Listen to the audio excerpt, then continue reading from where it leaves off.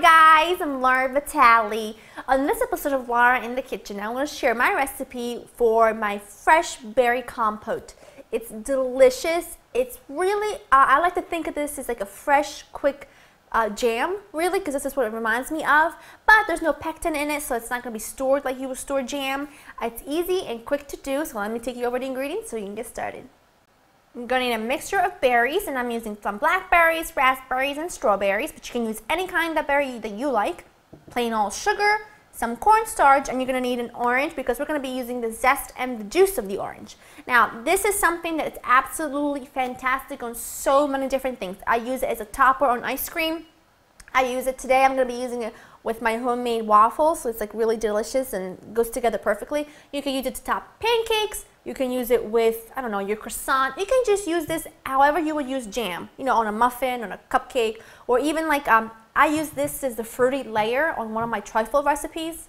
Delicious! And also to make like little parfaits for breakfast. But anyway, let's get into the cooking, shall we? I have a large saucepan here.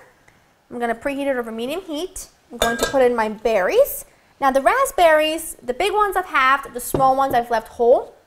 So I'm going to put that in there with the sugar, whoops, and the zest of an orange. Now, the one thing you want to be careful here is that you don't mix up the, the berries so much that they're going to fall apart because you want to keep the shape. You want to be able to tell that you have beautiful pieces of berry in your compote. So, you know, try not to mush them up too, too much. Now, while that's happening, smells fantastic already. I'm just to give this a light just like that's fine. I'm to cook this over medium heat until the sugar dissolves. It'll take about five to seven minutes. And again, don't mush it up too, too much because you want to be able to see the berries. In the meantime, I'm going to make the slurry for, that's to go in here to thicken it up. Now what I have here is some cornstarch. And to this cornstarch, I'm going to add in the juice, about, let's say half of an orange. You need about a tablespoon or so of orange juice. That's good. If a little pulp goes in there, that's perfectly fine. It's going to be delicious. So just give this a stir with a little spoon. This makes a little slurry. This is going to be the thickening agent that takes this from liquidy to a really nice thick consistency. So I'm going to just set that aside. I'm going to babysit my berries, giving them a stir every now and then until it comes up to a boil. And once it's up to a boil, just cook it enough for the sugar to dissolve.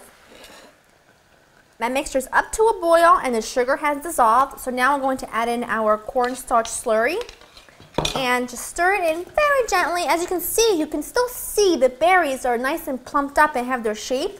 So that's wonderful. And I'm going to let this cook and I'll let it boil for one minute. And after the one minute, I'm going to just let it cool a bit so it thickens up a little bit and then we'll serve it. Now after I put in my cornstarch slurry, I let it cook for a minute and then I'm just letting it cool for a little bit. But you know me, I'm impatient and I'm ready to eat. So I'm going to eat this with just a little waffle today. It's just delicious. It's one of my favorite ways to eat these. Look at that. It's like the most gorgeous.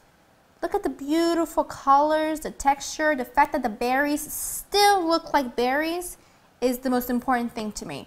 Maybe not to everyone, but that is what I'm looking for It's making my mouth water because I know how much I love it. This is really good, um, just on about everything, really.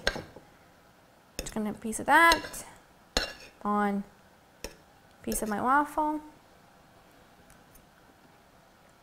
Mmm. Mmm. It's like fresh jam. It tastes like jam, but I don't know, it's just like 10 times better. It's really juicy. The actual fruit looks like fruit. It still has its texture.